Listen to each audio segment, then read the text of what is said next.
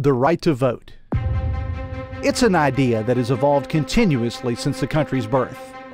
People have fought for it, people have died for it. And today, high school and college students enjoy that right. When a U.S. citizen turns 18 years old, they're guaranteed the right to vote.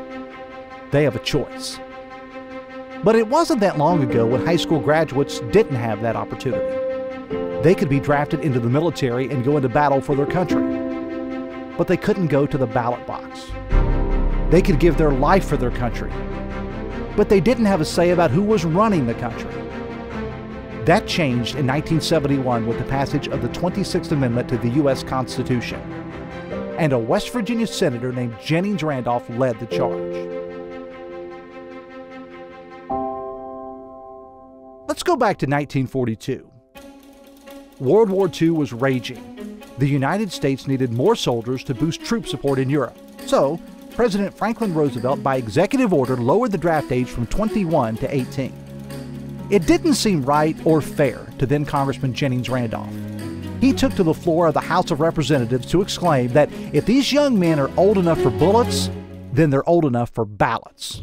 Senator Randolph was deeply, passionately concerned about the ability for 18, 19, and 20 year olds to vote.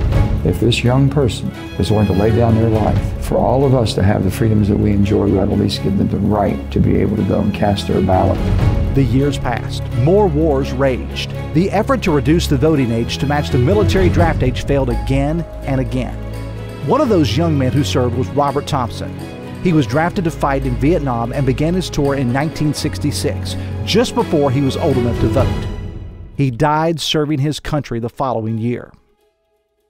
Back home, the sister of a soldier drafted into the military without the right to vote and who lost his life fighting for his country would become the first 18 year old in the nation to register to vote because of the passage of the 26th Amendment. And she would be the first to signal in a new era of voting rights. She was 18. I was a work study student and working at Davis and Elkins College. Somebody opened an office door and said, Senator Randolph wants to know if we have an 18 year old that would be willing to go with him to register to vote. Uh, so they said, Will you be willing to do it? And I said, Yes. On the ride there, Miss Thompson told the senator about her brother dying in battle before he had the right to vote. He was struck and deeply moved. He said, You know, you're an 18 year old, you go off to fight a war, you should have that right to vote. Jennings Randolph personally escorted the young lady who was the first person to register to vote to the courthouse in Elkins. That was real devotion. I realized you know, the impact that it would have and, and how many people it was going to impact, but it was a little bit later when I realized I'm getting to do something my brother did not get to do and I really wish he would have been able to do. Jennings Randolph was born and raised in Salem, West Virginia. His mark in the Mountain State can be found all around. Jennings Randolph Lake, Jennings Randolph Elementary, Jennings Randolph Bridge, the Jennings Randolph Center for Public Service at Salem University. Testaments to a rich legacy.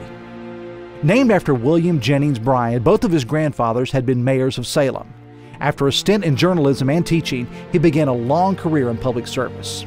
He served in the U.S. House of Representatives from 1933 to 1947. He witnessed Franklin D. Roosevelt sworn in as president. He was there during World War II.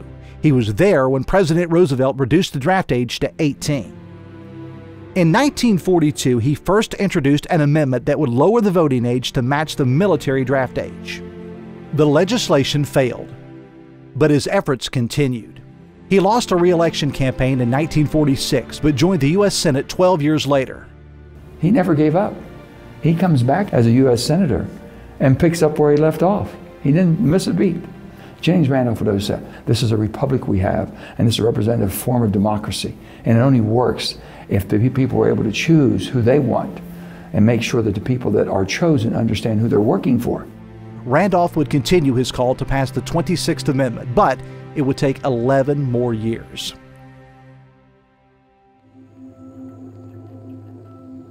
During his time away, calls for change grew louder. President Dwight D. Eisenhower in 1954 became the first president to publicly support it. Then, in the 1960s, during Vietnam, public support for the 26th Amendment grew, and citizens were placing more and more pressure on lawmakers to lower the voting age. There was so much more dissension about what the war was and what people were getting involved in. The rallying cry came look, these kids are being drafted, they're being expected to go off to war. They can't vote. They have no influence on the political life that is influencing their going off to war. My fellow friends were going to Vietnam. My brother was in Vietnam. And I thought this is bad that they can go to Vietnam and not be have the right to vote. Young men were dying for their country. They couldn't vote. Young people back home were fighting for civil rights. They couldn't vote. Randolph heard their demands. He made sure his colleagues in Congress did too. He echoed what he'd argued decades earlier. You got to understand, Randolph was a person of great integrity. When people talked to Randolph, they knew that they could take it to the bank. Many states were passing laws to lower the voting age, but some argued the youth lacked good judgment and common sense. But Randolph reminded them that soldiers younger than 21 fought alongside George Washington at Valley Forge. Alexander Hamilton was 19. John Marshall was 18. These soldiers would become some of the nation's greatest leaders. I think he recognized that people at that age need to develop a relationship with what's going to be affecting them as life goes on. In 1971, the Senate voted 94 to 0 to propose the constitutional amendment. The House followed suit.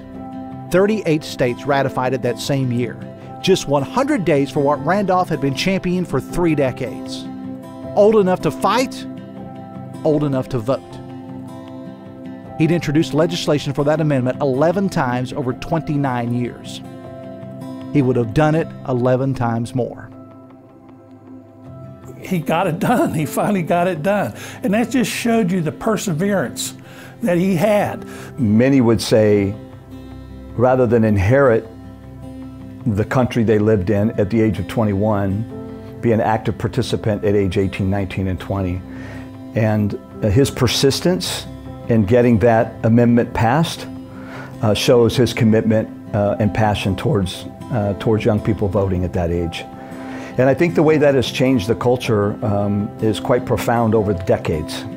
Well, I think if you look at the statistics of voting in that age group, that 18 to 21 or even to 25, uh, we see much more engagement now. And Jennings, obviously, for these last 50 years, his legacy has been it's no longer a question of whether you can vote, it's that you have to take this responsibility as an American citizen to have your voice heard at the ballot box. Well, it's a very great privilege to welcome this very exciting group to the White House on the day that we celebrate our National Independence Day. We are certifying the 26th Amendment to the Constitution of the United States. The 26th Amendment passed faster than any other constitutional amendment. His persistence and leadership inspired his colleagues in Congress to finally refer to Randolph as the father of the 26th Amendment. More than 5 million Americans between 18 and 21 cast ballots in the 1972 election. As I'm reflecting back, I'm realizing too that I was in that age group that the very first time I voted was 1972, and I was 19 years old. And by letting me vote in 1972, not only did I get to vote for the president, but I also got to vote for my own father, who was running for governor. Jennings was, uh, he was one of a kind, I think. The thing that really speaks to me about Senator Randolph is his real interest in the people on the ground. He could work with anyone, but he could also understand the little man and what he needed. I never met such a genteel type of a person. He always had time. His words were always so eloquently positioned to where it made you feel like you're pretty special. The Jennings Randolph Award goes to high schools that register 85 to 100% of their senior class to vote. Celebrating Randolph's leadership from 2017 to 2021, the state of West Virginia registered more than 67,000 high school students to vote. Today, Randolph's legacy is cemented in West Virginia. The 26th Amendment also allowed citizens younger than 21 to hold office. In 2014, Saira Blair became the youngest legislator ever elected in the history of the United States when Berkeley County elected her to the West Virginia House of Delegates. Four years later, at just 19 years old, Caleb Hanna was the country's youngest black American elected to any state legislature, also in the West Virginia House. 2021 marked the 50th anniversary of the passage of the 26th Amendment. Old enough to fight, old enough to vote.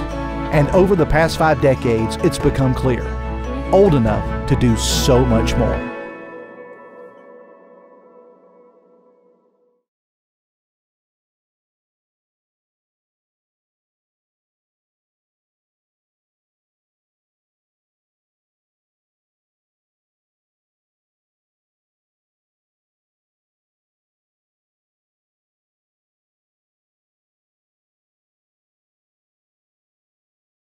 Young ladies and young gentlemen, I believe in all of you who are here today.